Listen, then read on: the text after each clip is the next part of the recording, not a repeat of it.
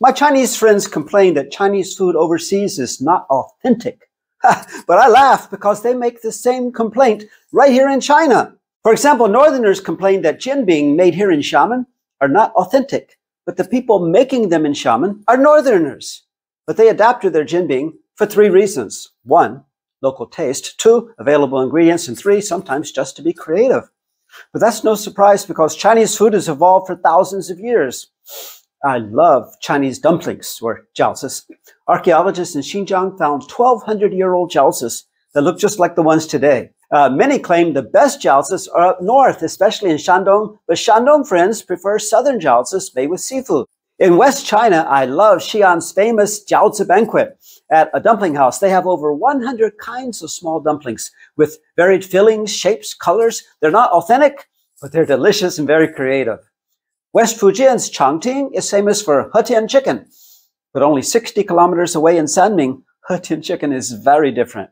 And in nearby Yongding, they don't even bother pretending to make Hetian chicken. They just say, ours is better than Hetian chicken. Hmm. I love Sichuan food, which is famous for being spicy, but it varies greatly across China. In Xiamen, they cook food and toss in a few hot peppers. In Sichuan, they cook hot peppers and toss in a bit of food. If Xiamen Sichuan food was authentically spicy, they'd lose a lot of business. One of my favorites is Shaxian snacks, which has evolved over 100 kinds during the past 1600 years. Today, Shaxian snacks are sold all over China and in over 60 countries.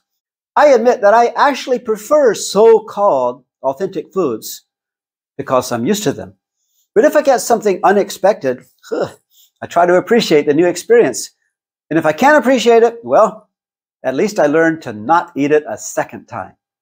But for me, whether food delights or disappoints depends a lot on whom I'm eating it with. In 1988, when I moved to Xiamen, food was very simple. Even eggs were a treat back then for some people. But even the simplest meals were special when I ate with family and friends. So I don't worry too much about the authenticity of foods but authenticity of friendships, that's priceless.